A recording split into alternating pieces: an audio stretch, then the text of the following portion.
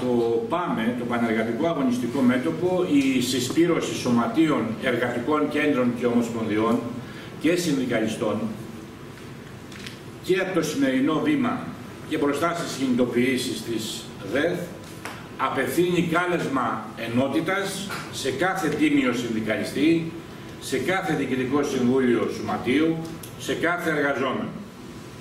Να αγωνιστούμε και να παλέψουμε, αυτό είναι το κάλεσμα, για σύγχρονους όρους δουλειάς, για ζωή με δικαιώματα. Σήμερα δεν υπάρχει, δεν πρέπει να υπάρχει και δεν μπορεί να υπάρχει καμία πίστοση χρόνου. Η νέα κυβέρνηση έρχεται από παλιά, είναι γνωστή, έχει σημαδέψει με τις πολιτικές της τη ζωή της εργατικής λαϊκής οικογένειας. Ήδη γνωρίζουμε όλοι ότι έχει ξεκινήσει με φόρα για να εφαρμόσει και να βαθύνει ακόμα περισσότερο την επίθεση στα εργατικά λαϊκά δικαιώματα και τα ασφαλιστικά δικαιώματα, βρίσκοντας στρωμένο το έδαφος από την προηγούμενη και θα λέγαμε από την αντεργατική παρακαταθήκη που άφησε η προηγούμενη κυβέρνηση του ΣΥΡΙΖΑ. Το μικρό χρονικό διάστημα που πέρασε από τις τελευταίες εκλογές επιβεβαίωσε πως δεν είναι νέος ο πολιτικός συσχετισμός που προέκυψε από την κυβερνητική αναλλαγή. Αντίθετα, αποτελεί συνέχεια για την υλοποίηση των επιδιώξεων των επιχειρηματικών ομίλων για τη θωράκιση της καπιταλιστικής ανάπτυξης, δηλαδή την ανάπτυξη των κερδών των λίγων, δηλαδή για νέο πιο βαθύ κύκλο αντιλαϊκών μέτρων. Ο πύχης έχει τεθεί ήδη ψηλά από την προηγούμενη διακυβέρνηση του ΣΥΡΙΖΑ. Τα μέτρα που ήδη εξήγηλε ο Μητσοτάκης και αυτά που θα παρουσιάσει εδώ στη Διεθνή Έκθεση Θεσσαλονίκης θα επιδεινώσουν ακόμα περισσότερο τη ζωή του εργαζόμενου λαού. Οι αντεργατικές ρυθμίσεις πρόλαβε να φέρει στα κλεφτά μέσα στο καλοκαίρι, η μία για τους εργολαβικούς εργαζόμενους και η άλλη για τις απολύσεις, αλλά και οι σχεδιασμοί τους ώστε να μπει νέο χτύπημα στη συλλογική οργάνωση και πάλι είναι οι πρώτες παρεμβάσεις στα εργασιακά και ασφαλιστικά δικαιώματα είναι παρεμβάσεις που δεν αφήνουν καμιά αμφιβολία για το μέλλον που προετοιμάζουν. Την ίδια στιγμή προχωρούν οι καπιταλιστικές αναδιαθρώσεις σε όλους τους τομείς. Έχουμε τη διατήρηση των ματωμένων πλεονασμάτων, νέες φοροαπαλλαγές και προκλητικά προνόμια στο κεφάλαιο, με ταυτόχρονη μεταφορά των φορολογικών βαρών στο λαό, ταχύτερη υλοποίηση των ιδιωτικοποιήσεων, παραπέρα απελευθέρωση της ενέργειας με επίκεντρο βεβαίως τη ΔΕΗ, υλοποίηση του σχεδίου για τα κόκκινα δάνεια και τους πληστηριασμούς. Η επίδεση στους συνταξιούχους και τα δικαιώματα των ασφαλισμένων περνάει σε μια νέα φάση, προχωρώντας παραπέρα την ιδιωτικοποίηση της κοινωνικής ασφάλισης σε συνέχεια των ανατροπών που έφερε με το νόμο Λεμιτόμο η κυβέρνηση του ΣΥΡΙΖΑ. Θέλουν γρήγορα να ξεπερδεύουν με όσα δικαιώματα κρατήθηκαν με σκληρούς αγώνες μέσα στην κρίση, να ολοκληρώσουν το καθεστώς εργασιακής ζούγκλας και πλήρους ελευθερίας των μεγαλοεργοδοτών, να ξεζουμίζουν χωρίς κανένα εμπόδιο τους εργαζόμενους. Μάλιστα, να πούμε ότι για να δείτε τη φόρα που έχουν πάρει και οι βιομήχανοι, ο σύνδεσμος των μεταλλευτικών επιχειρήσεων τώρα πριν λίγες μέρες ζητάει μειώσεις μισθών στους εργαζόμενους από 13 έως 18%. Επίσης, υπάρχει ενορχιστρωμένη επίθεση, όπως λένε, για να μην διαταραχτεί η επάνωδος στην κανονικότητα και η επιστροφή στις παθογένειες του παρελθόντος, όπως ονόμασαν τα δικαιώματα που καταργήθηκαν. Σήμερα δεν είναι κανονικότητα οι αντεργατικές ανατροπές, η περιστολή των εργατικών δικαιωμάτων, των συνδικαλιστικών και, και λαϊκών ελευθεριών. Δεν είναι κανονικότητα η εμπλοκή της χώρας μας σε επιδραστικά σχέδια και ανταγωνισμούς που δημιουργούν επικίνδυνες καταστάσεις για το λαό μας και τους λαούς των γειτονικών χωρών. Είναι φανερό ότι με το δόγμα νόμος και τάξη θα, επιβάλλουν, θα επιδιώξουν να επιβάλλουν το συμβιβασμό με τα ψίχουλα, τη ζωή στην πρέσα και τους αβάστακτους χώρους και τα μοτωμένα πλεονάσματα μέχρι το 2060. Την υποταγή του εργαζόμενου λαού στις συνεχείς απώλειες των μισθών, στις συντάξεις, στις κοινωνικές παροχές, για να μην διαταραχτεί η επάνωδος στην κανονικότητα. με το νομοσχέδιο το επιτελικό κράτος που αποτελεί τον πυρήνα των θέσεων της κυβέρνησης στοχεύουν σε ένα κράτος πιο αντιλαϊκό στο εσωτερικό και πιο επιθετικό για την υλοποίηση των πολεμικών κατευθύνσεων του ΝΑΤΟ. Ήδη πάνω σε αυτό το έδαφος υπάρχουν αρκετά παραδείγματα που το τελευταίο διάστημα ιδιαίτερα φανερώνουν όπως λέγαμε προηγουμένως ότι η εργοδοσία έχει ξεσαλώσει. Ας πούμε και ορισμένα από αυτά. Το επιμελητήριο της Κέρκυρας απαιτεί να μην γίνονται έλεγχοι την τουριστική περίοδο. Η μηνυτήρια αναφορά του κόσμου στο σωματείο, πολύ μετά την απεργιακή κινητοποίηση. Το δικαστήριο στην περίπτωση της απόλυσης του Προέδρου του Εργατικού Κέντρου Λαβρίου, που αποφάσισε με το σκεπτικό πως το διευθυντικό δικαίωμα στην απόλυση ε, είναι πιο ισχυρό, λέει, από την εργατική προστασία. Η κυβέρνηση της Νέας Δημοκρατίας δεν κρύβει την πρόθεσή της να τσακίσει τη συνδικαλιστική δράση, να βάλει τα σωματεία στο γύψο. Επιχειρεί να χτυπήσει ξανά το εργατικό συνδικαλιστικό κίνημα, παίρνοντας τη σκητάλη από τους απεργοκτόνους νόμους του ΣΥΡΙΖΑ. Έχει ήδη ανακοινώσει τα σχέδιά της για το νέο συνδικαλιστικό νόμο που θα αντικαταστήσει το γνωστό νόμο 1264 του 82. Ήδη από τις προγραμματικές δηλώσεις της κυβέρνησης, ο Υπουργός Εργασίας εξήγηλε την καθιέρωση ηλεκτρονικής ψηφοφορίας στις διαδικασίες της απεργίας για να πετύχει μεγαλύτερο ακόμα χτύπημα των ζωντανών συλλογικών διαδικασιών στα συνδικάτα. Το κεφάλαιο και οι κυβερνήσεις του θέλουν να χτυπήσουν τις συλλογικές διαδικασίες, τις γενικές συνελεύσεις των εργαζομένων, τη συμμετοχή των εργαζομένων στη διαμόρφωση του διεκδικητικού πλαισίου και βεβαίως την οργάνωση της πάλης, ώστε να είναι ακόμη πιο ευάλωτοι στις πιέσεις αλλά και στα ιδεολογήματα της εργοδοσίας. Αντίστοιχα, η εξαγγελία του ηλεκτρονικού μητρώου συνδικαλιστικών οργανώσεων και στελεχών έχει στόχο όχι την αντιμετώπιση του κατακαιρματισμού στο οργανωτικό συνδικαλιστικό σύστημα όπως λένε, αλλά το φακέλωμα και τον ασφικτικό έλεγχο των πραγματικών συνδικάτων από το αστικό κράτος. Τα όσα λέει για να δικαιολογήσει την επίθεση για περισσότερη δημοκρατία στο συνδικαλιστικό κίνημα δεν πείθουν κανένα.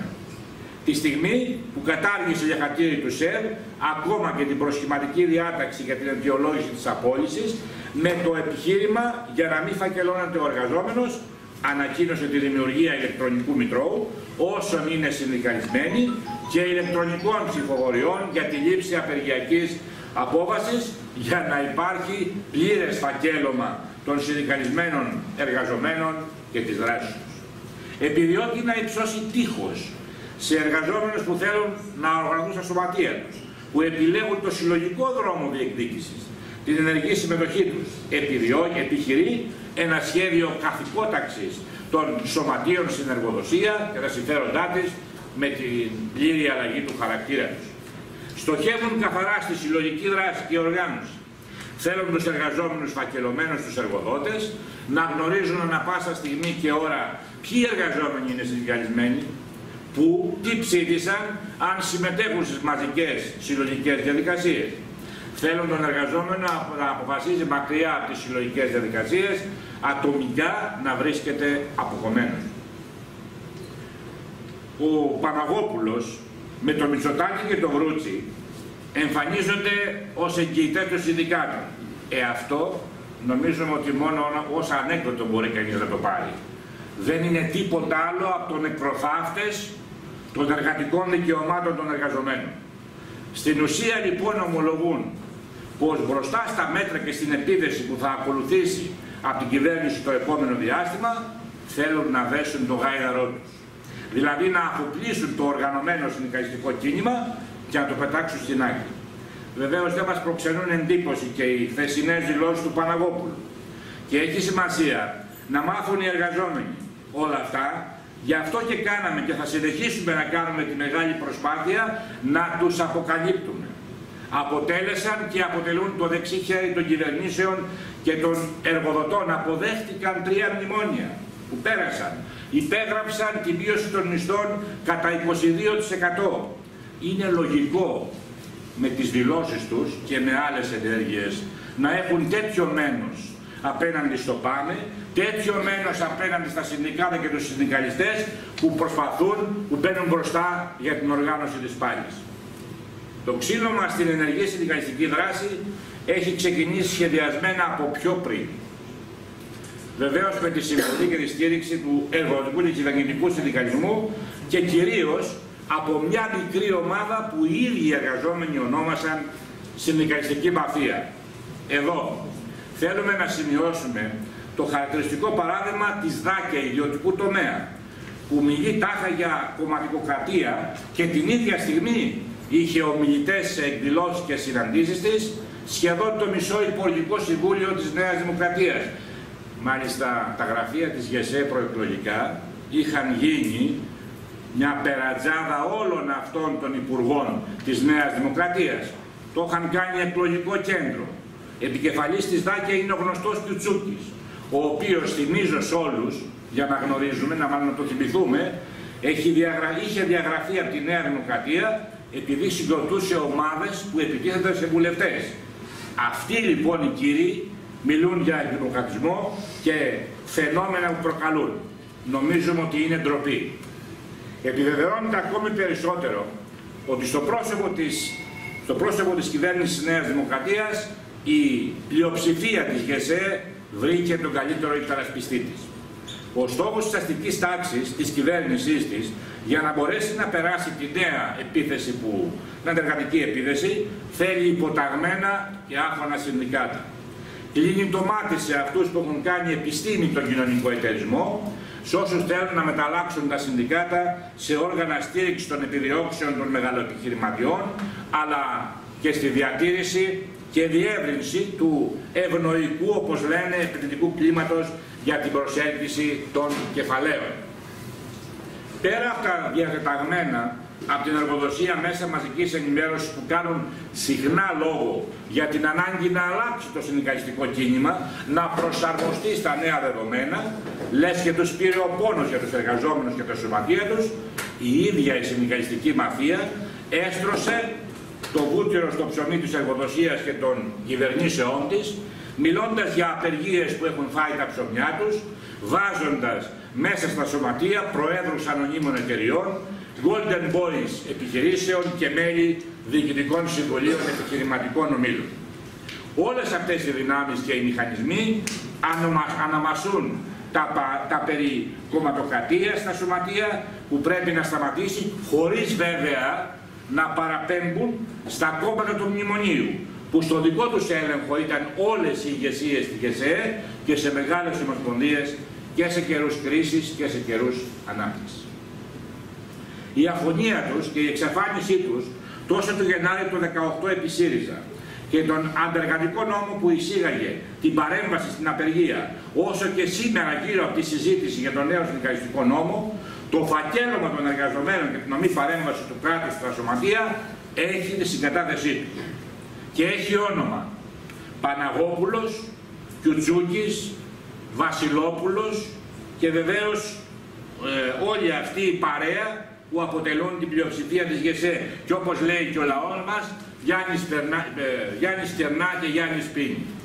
Και φυσικά μας επιβεβαίωσαν πολύ γρήγορα όσον αφορά τη λαϊκή παροιμία με τη συμμετοχή τους και στο στρογγυλοκάθισμά τους στη συνάντηση του Μητσοτάκη με τους λεγόμενους κοινωνικούς εταίρους. Φυσικά δεν μας προκαλεί έκπληξη, καθώς η πλειοψηφία της ΓΕΣΕ έχει μόνιμο στασίδι σε κάθε ίδιος κοινωνικό διάλογο εδώ και χρόνια. Όμως πρέπει να θυμίσουμε στους εργαζόμενους που δεν έχουν, πως δεν έχουν καμιά δικαιοδοσία ως νόχα και διορισμένη διοίκηση. Αυτή η συνδικαλιστική μαφία χρησιμοποιεί τα πάντα. Προβοκάτσιες, λάσπες, συκοφαντίες απέναντι στα εργατικά κέντρα, τις ομοσπονδίες και τα συνδικάτα για να διατηρήσουν τις παχυλά αμοιβόμενες θέσεις τους και βεβαίως επιτείνονται στο πάνω. Και μάλιστα αυτές, όπως είπαμε με τις δηλώσεις τους, τολμούν, έχουν το θράσος να μας κουνούν και το δάχτυλο. Σε ποιους, σε αυτούς που είναι κάθε μέρα στον δρόμο, που κάθε μέρα παλεύουν και οργανώνουν την πάλη. Όμως τα στελέχη του ταξικού κινήματος είναι γνωστά. Όπως είπαμε βρίσκονται κάθε μέρα μπροστά στους αγώνες, τις αγωνίες των εργαζομένων, είναι με τα συμφέροντά τους. Και με τα σωστά τους, βεβαίως και με τα λάθη τους. Η πλειοψηφία της ΓΕΣΕ και για όσους είναι σε αυτή την ομάδα εκεί, αμφιβάλλουμε αν ξέρουν που είναι ο χώρος, ο χώρος δουλειάς τους. Αμφιβάλλουμε αν τους ξέρουν, αμφιβάλλουμε αν τους ξέρουν οι ίδιοι εργαζόμενοι. Και βεβαίως τι σημαίνει ανεργία και τι σημαίνει φόβος απόλυσης. Τονίζουμε για ακόμη μια φορά ότι πίσω δεν κάνουμε. Τα σωματεία και οι τίμοι συνδικαλιστές δεν θα ανεχτούμε να γίνει νέο συνέδριο με μπράβους, με την ασφάλεια και τα μάτια. Σίγουρο είναι ένα. Εργατικό συνέδριο θα γίνει, αλλά χωρίς αυτούς. Την υπόθεση να φύγουν οι αγατοπατέρες, οι νόθοι, οι άνθρωποι των εργοδοτών από τα συνδικάτα, το τονίζουμε για άλλη μια φορά. Θα την πάμε μέχρι το τέλος. Δίνουμε να μείνουμε και στην κυβέρνηση. Επειδή γνωρίζουμε ότι βρίσκονται σε προχωρημένες συναντήσεις με τους εργατοπατέρες, τονίζουμε. Δεν πρόκειται να ανεχτούμε ως ταξικό κίνημα, ως συνδικάτα, το συνδικαλιστικό της ασφάλειας, την αστυνομία, τα ΜΑΤ, να σου λατσάρουν, όπως έγινε εδώ, θυμάστε όλοι που το αποκαλύψαμε, με τον ασφαλίτη που κόντεψε και να ψηφίσει στο συνέδριο εδώ του εργατικού κέντρου έχουμε τη δυνατότητα να προστατεύουμε το κίνημά μας. Αποτελούν βεβαίω, όπως είπαμε όλοι αυτοί, τη συνεργαστική μαφία. Είναι αυτοί που έχουν βάλει, βάλει φαρδιά πλατιά την υπογραφή τους και την περίοδο της κρίσης στο σφαγερμό των δικαιωμάτων των εργαζομένων.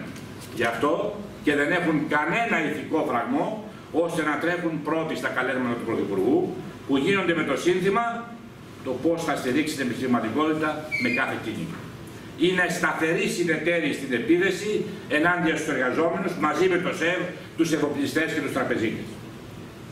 Εκεί που κάθονταν στο ίδιο τραπέζι την προηγούμενη Δευτέρα, όχι μόνο δεν υπερασπίστηκαν τα δικαιώματα και ό,τι έχει απομείνει από τα κοινωνικοασφαλιστικά δικαιώματα, αλλά αποκαλύφθηκε ότι έχουν συμφωνήσει με τους εργοδότες το γνωστό Εθνικό Επαγγελματικό Ταμείο. Δηλαδή, την απαλλαγή των εργοδοτών από την κοινωνική ασφάλιση, την εισαγωγή της ιδιωτικής ασφάλισης, το τζογάρισμα των μισθών των εργαζομένων, το τάισμα των κορακιών των ιδιωτικών ασφαλιστικών εταιριών και των διάφορων επενδυτών από τον κόπο, τη δουλειά και το αίμα των εργαζομένων. Αφού απέκτησαν τεχνογνωσία από το, επαγγελματικό ταμείο του φαρμάκου και τζόγαραν στην ουσία τα λεφτά των εργαζομένων, τώρα ζητούν να το γενικεύσουν να γενικεύσουν την εμπειρία αυτή σε πανεθνικό επίπεδο, πρωτοστατώντας την ιδιωτικοποίηση της κοινωνικής ασφάλισης παραμονές της κυβερνητικής επίδεσης. Την ίδια στιγμή δεν έβγαλαν άχνα όταν οι βιομήχανοι της Βορείου Ελλάδας κατέθεσαν εκ νέου πρόταση για την νομοθέτηση ειδικών οικονομικών ζωνών σε όλη τη Βόρεια Ελλάδα γύρω από τα μεγάλα λιμάνια. Σε όλη τη χώρα βεβαίως και τις βιομηχανικές ζώνες. Δηλαδή, ειδικό φορολογικό καθεστώς για τα θετικά και τις εταιρείες και καθεστώς άγριας εκμετάλλευσης για τους εργαζόμενους όπου θα εξαιρούνται και από τις ελάχιστες συλλογικές συμβάσεις εργασίας και τα ελάχιστα που έχουν απομείνει από εργατικά δικαιώματα χωρίς ελέγχους και χωρίς συνδικαλιστική οργάνωση και δράση. Άχνα δεν έβγαλαν για τους εργολαβικούς εργαζόμενους, για τις απολύσεις, για τον ΟΜΕΡ που η κυβέρνηση ετοιμάζεται να αλλάξει. Το λέμε καθαρά δίνουν ανταλλάγματα για να κρατηθούν. Σε μια τέτοια σφοδρότητα επίδεση που στόχο έχει το ίδιο το εργατικό κίνημα και τις σημείες των εργαζομένων, η απάντησή μας πρέπει να είναι όχι μόνο ανάλογη, αλλά να κατανοηθεί από όλους ότι πρόκειται για μάχη για την ύπαρξη των συνδικάτων ως όργανα πάλι των εργατών και όχι ως γραφειοκρατικός μηχανισμός.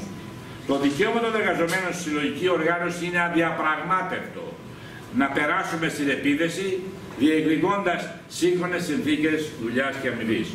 Και θα θέλαμε εδώ να χαιρετήσουμε τον αγώνα των εργαζομένων στην Τράπεζα Πυραιός και εδώ στη Θεσσαλονίκη που παρά την απίστευτη τρομοκρατία της εργοδοσίας και της κυβέρνησης και την ανοιχτή στήριξη που τους προσφέρουν και η ΕΣΕ και η ΟΤΟΕ και τα εργοδοτικά σωματεία, οι εργαζόμενοι κάνουν τεράστια προσπάθεια, οι εργαζόμενοι αντιστέκονται. Γι' αυτό και πρέπει όλοι οι εργαζόμενοι, όλα τα συνδικάτα να δυναμώσουμε την αγγελική. Σήμερα χρειάζεται ένα κίνημα που θα διεκδικεί σύγχρονους όρους δουλειάς, αυξήσεις στους μισθούς και, και στις συντάξεις, διεύρυνση των κοινωνικών παροχών. Θέλουμε ένα εργατικό συνδικαλιστικό κίνημα ζωντανό, που θα στυλατεί την ενότητα των εργαζομένων μέσα στους κλάδους και τους χώρους δουλειάς, με σωματεία πραγματικά, με δράση και υπόσταση, ενεργή συμμετοχή των εργαζομένων σε συλλογικές δημοκρατικές διαδικασίες και όχι μηχανισμοί εργοδοτικοί, γραφειοκρατικοί που στείλονται από εργοδότες, κυβερνήσεις, νόθες διαδικασίες και μπράβους της νύχτας. Ένα κίνημα που δεν απαζαραίνει πόσα δικαιώματα θα χάσουν κάθε φορά οι εργαζόμενοι. Δεν θα είναι ουρά και όχημα της κάθε αντιλαϊκής κυβέρνησης. Αυτό το ζήσαμε έντονα με τη στάση των ηγεσιών της ΓΕΣΕ και της ΑΤΕΔΗ μέσα στην κρίση και εμείς το απορρίπτουμε. Αυτές οι ηγεσίες δεν μπορούν, αλλά και ούτε θέλουν να υπερασπιστούν τα δικαιώματα των εργαζομένων και να διεκδικήσουν. Θέλουμε ένα κίνημα διεκδικητικό που θα αγωνίζεται για την ανάκτηση των απολειών, προβάλλοντας επιθετικά τις σύγχρονες λαϊκές ανάγκες και τις δυνατότητες που αντικειμενικά υπάρχουν για να ικανοποιηθούν. Ένα κίνημα που θα έχει σταθερό μέτωπο υπεράσπιση των εργαζομένων απέναντι στους επιχειρηματικούς ομίλους σε κάθε κυβέρνηση, τους υπηρετείς, στο κράτος, στην Ευρωπαϊκή Ένωση, ενάντια στην εκμετάλλευση και σε κατεύθυνση αντικαπιταλιστική. Με βάση όλες αυτές τις εξελίξεις που εκτιμάμε ότι άμεσα θα δεικνώσουν, το επόμενο διάστημα, το πάμε, παίρνει την πρωτοβουλία και απευθύνει κάλεσμα σε όλα τα συνδικάτα, σε όλες τις συνδικαλιστικές οργανώσεις, σε κάθε τίμιο συνδικαλιστή, σε κάθε εργαζόμενο, ώστε να ανοίξει η συζήτηση και να μπει σε πρώτο πλάνο η ανάγκη της μετατροπής του συνδικαλιστικού κινήματος σε πραγματικό στήρισμα των εργαζομένων, σε δύναμη υπεράξης των συμφερόντων των συμφερόντων. Να συζητήσουμε πώς θα οργανώσουμε την πάλη μας, στην ολομέτωπη επίδεση που δεχόμαστε, πώς θα ανασυντάξουμε το κίνημά μας, απελευθερώνοντάς το από το θανάσιμο εναγκαλισμό της εργοδοσίας των κυβερνήσεων από τη συνδικαλιστική μαφία. Πώς θα φέρουμε τους νέους εργαζόμενους. Για μας είναι μεγάλο στοίχημα αυτό. Πώς θα φέρουμε τους νέους εργαζόμενους που δουλεύουν με τους άθλιους, με τους πιο άθλιους όρους στα συνδικάτα. Απευθύνουν. Ανοιχτό κάλεσμα ενότητας και δράσης απέναντι στα νέα σχέδια που ετοιμάζει η κυβέρνηση της Νέας Δημοκρατίας να προετοιμάσουμε και εμείς αποφασιστική μαζική, συντονισμένη και μαχητική απεργιακή απάντηση. Να βρεθούμε βεβαίως σε ετοιμότητα, να είμαστε σε εγρήγορση για οποιαδήποτε αρνητική εξέλιξη και στα νέα ε, απεργατικά αντιλαϊκά μέτρα. Σε αυτή τη βάση καλούμε τα διοικητικά συμβούλια των σωματείων να συζητήσουν άμεσα, να προκαλέσουν συζητήσεις στις γενικές συντελεύσεις στους κλάδους και στους χώρους δουλειάς φαρετά και με τόλμη να επιλέγονται αγωνιστικές μορφές απέναντι στην ευρωδική αφαιρεσία που θεωρεί ότι έχει αέρα στα πανιά του. Να βάλουμε φρένο σε όποιες σκέψεις υπάρχουν για την απονέκρωση των σωματείων. Η πλατιά σύσκεψη που πραγματοποιήθηκε χθες εδώ στη Θεσσαλονίκη με τη συμμετοχή δεκάδων συνδικαλιστικών οργανώσεων από πολλές πρωτοβάθμιες, όπως είπαμε και δευτεροβάθμιες οργανώσεις, σε δημόσιο και ιδιωτικό τομέα, συνδικαλιστές που δεν συμφωνούν σε όλα με τις θέσεις του ΠΑΜΕ, αλλά προσβλέπουν στη δυναμική του, στην αξιοπιστία του, στην ετοιμότητά του, ε, αυτό θέλουμε να συνεχιστεί. Οι αποφάσεις που πάρθηκαν χθες συλλογικά από τη σύσκεψη για το επόμενο διάστημα θέλουν να, θέλουμε να γίνουν κτήμα όλο και πιο πολλών οργανώσεων περισσότερων εργαζομένων. Με βάση αυτό χθες δόθηκε η σκητάλη στην Αθήνα για να πραγματοποιήσει τις επόμενες μέρες μια νέα μεγάλη σύσκεψη με το ίδιο περιεχόμενο. Την ανάγκη δηλαδή ενωτικού μαζικού ταξικού αγώνα απέναντι σε όλους αυτούς τους σχεδιασμούς. Σε αυτόν τον αγώνα φοράει κάθε σωματείο, κάθε έντιμο συνδικαλιστής που κατανοεί την ανάγκη ύπαρξης των συνδικαλιστικών οργανώσεων με ταξικό προσανατολισμό, με ενεργή συμμετοχή των εργαζομένων και με δημοκρατική λειτουργία. Μαζί με τους συμμάχους μας, τους φτωχούς αγρότες, τους επαγγελματοβιοτέχνες, τους φοιτητές και σπουδαστές και την νεολαία συνολικά που σήμερα υποφέρει τόσο στην εργασία αλλά και στα θρανία των διάφορων τεχνικο-επαγγελματικών σχολών απευθύνουμε κάλεσμα για την οργάνωση της πάλης. Κανένας συμβασμός με τα ψίχουλα. Αγώνας για σύγχρονους όρους δουλειάς για ζωή με δικαιώματα. Ο τόπος μας έχει μεγάλο πλούτο και μεγάλες δυνατότητες για να ζήσει ο λαός μας καλύτερα και σε συνθήκες ευημερίες. Είναι ανάγκη οι εργαζόμενοι να πιστέψουν στη δύναμή τους, να τη δοκιμάσουν, να την οργανώσουν, να βάλουν μπροστά το δίκαιο τους. Σήμερα δεν αποτελεί μονόδρομο η σύνθλιψη των δικαιωμάτων και ο συμβασμός με τα ελάχιστα. Το πλούτο που παράγουμε εμείς τον καρπώνονται τα μονοπόλια, οι λίγοι. Αυτός ο πλούτος είναι δικός μας και πρέπει να τον διεκδικήσουμε. Σε αυτόν τον δρόμο το πάμε, καλεί τον εργαζόμενο λαό, την νεολαία, τις οργανώσεις, που αισθάνονται οργή και αγανάκτηση και θέλουν να αλλάξει αυτή η κατάσταση και πρέπει να αλλάξει, να έρθουν μαζί μας, να συμπορευτούν μαζί μας και σε αυτή την κατεύθυνση νομίζουμε ότι θα τα καταφέρουμε, έχουμε τη δύναμη, γνωρίζουμε και καλούμε όλους τους εργαζόμενους και τα συνδικάτα μαζί να δώσουμε τη μάχη το επόμενο διάστημα.